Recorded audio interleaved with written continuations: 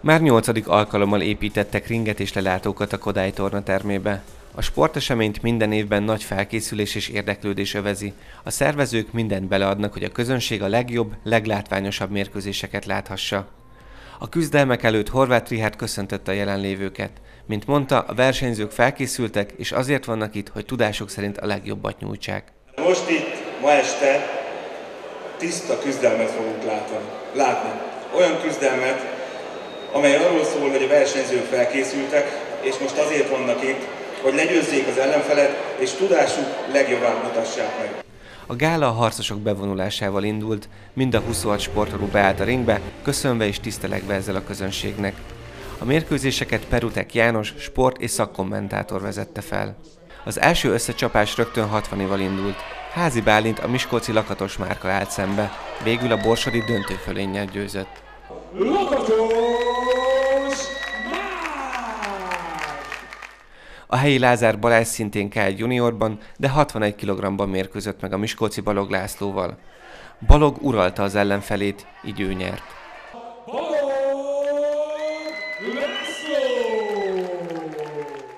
A 75 kg-osak következtek. Ádám Balázs, a 60 Thai Box Klub tagja, a budapesti Koritár Ferencer küzdött meg. Vehemensen kezdtek mindketten, agresszív támadások váltották egymást. Balázs nagyon neki ment az ellenfelének, akire az első menet végén rá kellett számolni. És mivel Koritárnak vérzett az orra, a második menetet el sem indították.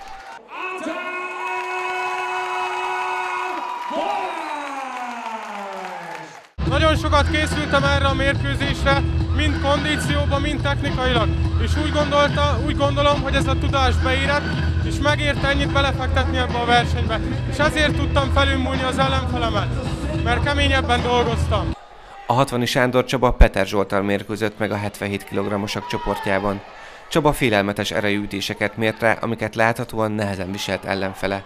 A második menetben a budapesti egy ágyékrúgást itt be a 60-nak, 5 perc regenerálódási szünetet rendeltek el.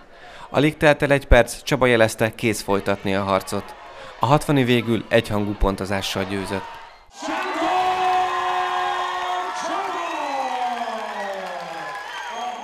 Most nagyon nyugodt voltam, és nagyon jó érzés volt. Az kicsit hátra lendített, hogy kaptam egy rúgást, ami eléggé szinte majdnem azt mondtam, hogy feladom, mert nem bírom annyira bevenni, de az adrenalin sikerült túlviselni az egészet, és így örülök, hogy fog bebírtam fejezni. K1 veteránban a 60 Juhász Mihály iszonyú erővel indult meg a 100 kg-os Sörös István ellen. Az ütéseket tisztán lehetett hallani a tornaterem minden pontján. A nagy csörtében Juhász bevitt egy szabálytalanok ítélt ütést, így véget ért a mérkőzés, ahol Söröst hozták ki nyertesnek. Nagy Gábor Gyetván Balázs ellen állt ringbe K1-ben. Masszív mérkőzés volt, mindkét harcos nagyon kitartóan küzdött. Gábor sorozatosan a bal lábra támadt, ennek eredményeként már alig tudott mozogni Gyetván. Egyhangú pontozással nyert Nagy Gábor.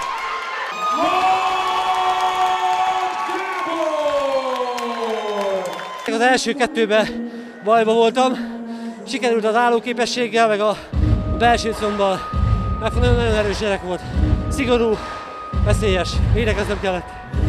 A győri Nardoletti Zoltán a pásztori Münzberg Gergővel mért össze tudását 77 kg-on K1-ben. Mindketten tudásuk legjavát nyújtották, látványos mérkőzést mutattak be, ahol végül Nardoletti bizonyult jobbnak.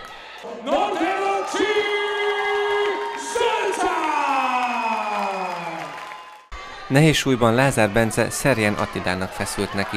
A második menet elején Bence nagyon ráment Szerjenre, aki később agresszívan visszatámadott. Mindketten állva maradtak, a 60 járt.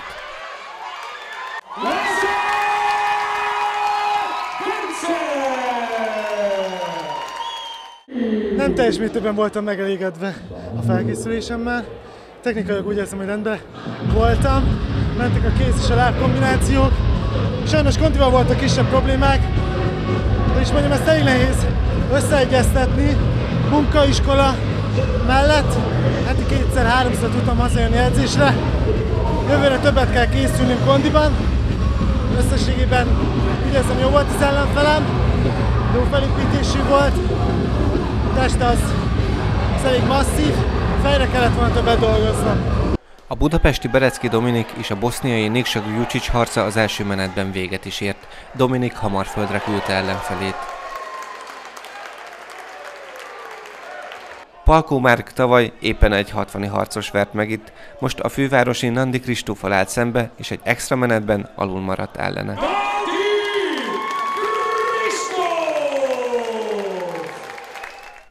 Az Esztergomból érkező Pokorni Ádám Szlobodán Vukicsal küzdött meg.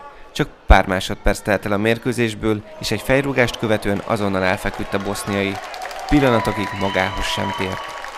Pokorni nyert. Gécei Robert Philip Weisenhofferrel mérkőzött meg. Nagyon erős rúgásokkal kezdett a Békés Csabai, többször kizökkentve egyensúlyából az osztrákot. Egy erős térdelés után le is rodjant Philip, és le is állították a meccset. Egy öntető győzelem. Az utolsó mérkőzés a Campo Full szabályai szerint zajlott, minimális földharc, fogás és könyök használata is engedélyezett.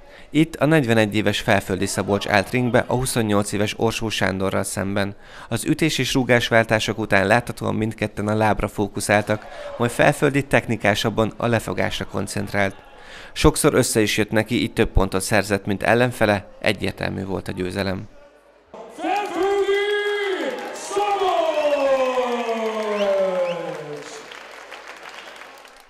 60 Ferenc sikeresnek értékelte a nyolcadik harcosok éjszakáját. Mint mondta, sajnálja, hogy Kerek Csaba és Laska Bence sérülése miatt nem tudott indulni a gálán. Kitért rá, hogy a fiatal sportolókkal kapcsolatban vegyesek az érzései, de majd levonják a konklúziókat.